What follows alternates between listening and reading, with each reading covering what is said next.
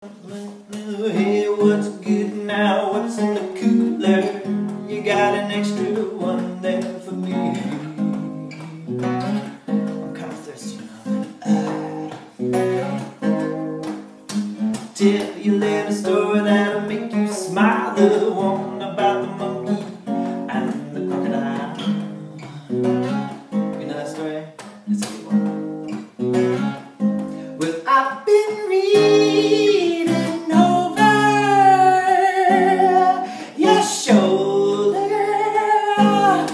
and I hope that you don't mind